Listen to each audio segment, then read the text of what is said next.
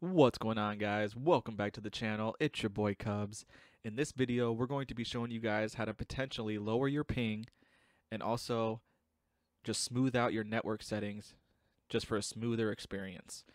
So the first thing you're going to want to do to get a fresh start in the search bar, go ahead and type in network reset. You're going to want to hit reset now. You're going to get a little blue screen little blue box that comes up that's going to say your PC will restart in five minutes. You hit close, and you really don't have to wait five minutes. You could if you want to, but if not, you can just go ahead and restart your computer from there, and the, the settings will reset. So you don't have to wait that five minutes if you don't want to. So once you do that, everything's going to reset, your advanced settings, everything. What I recommend doing is going into Device Manager. And what I like doing, this isn't also required since I'm running Ethernet, I like disabling the Wi-Fi just so it's not even in use anymore and it's only focused on Ethernet. So if you're not using wire uh, Wi-Fi, I recommend just going right-clicking and hitting disable. And that's why that little white arrow is pointing down. That means it's disabled. That's just one thing I like doing. and then once you exit out of that, you can go ahead and type in control panel network and internet, network sharing center, and then you're going to want to click on your Ethernet right here. From here, we're going to go to properties, configure, driver, and you're going to want to update your driver. Go ahead and search automatically, and if it has an updated driver that it needs to be installed, it'll do it automatically for you. So once you have updated your drivers, go ahead and hit close. we're going to want to go back into this and go to properties. The only thing you need to have checked here is the Internet Protocol version for TCP IPv4. The rest you can leave unchecked. Go ahead and hit OK, and then go back into properties, and this time hit configure. You're going to want to go to power management and uncheck the power saving. Allow the computer to turn off this device. Turn uncheck that. Then go into advanced and here you're going to look for two main things is power saving features and then energy efficient ethernet, which is here. And there's also one that may say green ethernet. Anything that has to do related to that green ethernet, energy efficient ethernet depends on the type of driver you have, whether it's Intel, Realtek, or what was it? Uh, Killer. That's it. So energy efficient ethernet off. And then anything with power saving in it. So you have reduced speed on power down. I like turning that off as well as system idle power saver. And then you also have one more at the bottom here, ultra low power mode. Disable all those. I also like disabling these wake settings as well. It'll just keep the driver on always. Then go ahead and hit OK. And what will happen from here, you'll see that your network will temporarily disconnect and then it'll reconnect because you changed settings, but that's perfectly normal. And then now I have a link in the description for the network pack. And this is the first time I've actually added a pack to my videos. And all credit to this pack goes to Adam X. If you're watching me, chances are you've watched him. He's one of the only other YouTubers that I actually will trust with my PC to make any other switches or changes or tweaks, anything like that. So all credit goes to Adam X, and his link will be in the description below as well. So this link to this pack will be in the description as well. Go ahead and extract it. You're going to have to download it. If you can't download it, you're going to have to download 7-zip or WinRAR. And then once it's downloaded, go ahead and just drag it to your home screen so it's right on the front here. Go ahead and double click on it.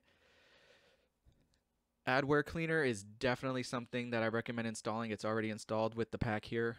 Um, pretty much what you do is you just run, double click on it, you'll run the scan. and pretty much if it comes up with any items detected, you're going to want to hit quarantine and then it'll fix those issues. But this will help with any stutters or ping issues. It'll actually help with FPS drops as well.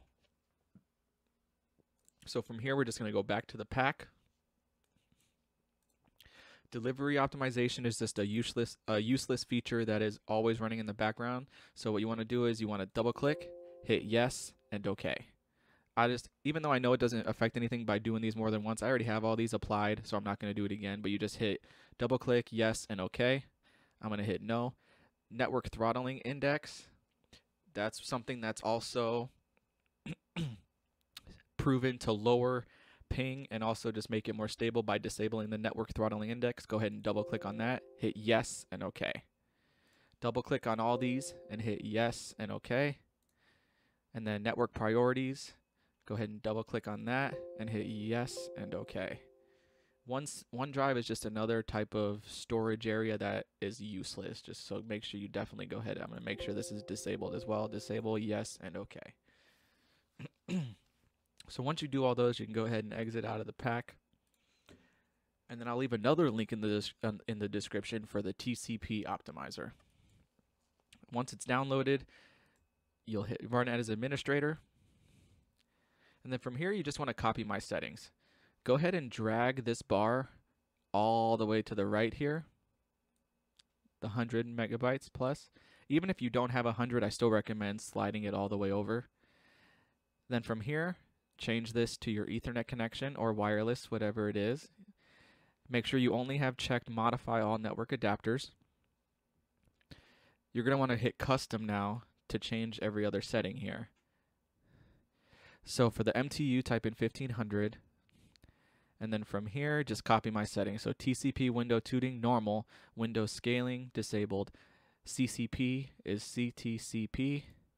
Receive side scaling enabled, R segment RSC enabled.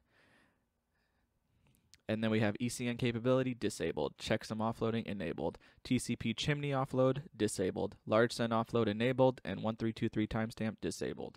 From here, we're going to go into advanced settings. And then we got max connections per server 10 and 10. And then 4, 5, 6, 7. We got 2 disabled, RTO 2000, minimum RTO 300, QoS 0, QoS use, this is optimal 1, network throttling index is disabled FFFF 8 times, system responsiveness is 0, and then these three features right here is disabling Nagle's algorithm, which is 100% needed to help with network settings. So we got the TCP ACK frequency disabled 1, TCP no delay enabled 1, and then TCP del ACK 0. Large system cache default, size default, and then we got max user port 65534, and then the wait delay is at 30. All right, and then once you got all those, go ahead and you can hit apply, and then make sure you save those settings. And it'll probably ask you to restart your computer to let all these take effect, you're going to have to restart your computer. All right, so I'm just going to exit out of this. And also remember to run that as administrator or it won't work properly. And then from there, that's pretty much the final step. So I recommend restarting your computer from there. Make sure everything's just, you know, set in stone. Restarting it always helps that. The one final thing I would recommend doing possibly is just typing in percent temp percent and just clear everything that's in here. If it doesn't delete, oh, well, that deleted, so you're good there. And then also hit type in run, and then you type in temp in here as well. Delete everything that's in here. And then also type in run and type in prefetch and then delete everything that's in here. Prefetch will probably have the most in there. And then make sure you delete everything from there and then delete or empty your recycle bin. All right, guys. Well, that'll do it for this video. Let me know in the comments if this helped. And also, I would like to know what other videos you might like to see next. This was recommended, this video, by one of my viewers. So I hope you enjoyed this video. Just make sure you hit subscribe and hit that like button if you are new. And until the next one, guys, peace out.